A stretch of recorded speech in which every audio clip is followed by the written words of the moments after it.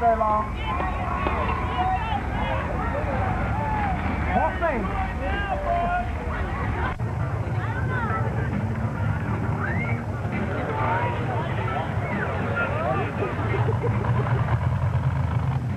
Yeah, zooming in. Just these other actions real quick.